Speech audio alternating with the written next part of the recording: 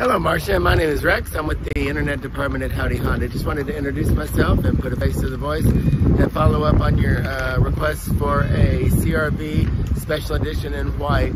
As you know, we've got a worldwide microchip uh, shortage.